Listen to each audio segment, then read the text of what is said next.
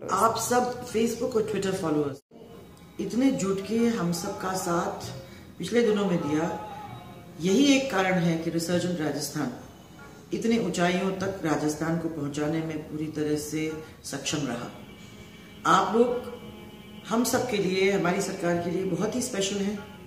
मैं चाहूँगी कि ये आपका साथ और आपका विश्वास और आपका प्यार हमारे साथ बना रहे। जय जय राजस्थान।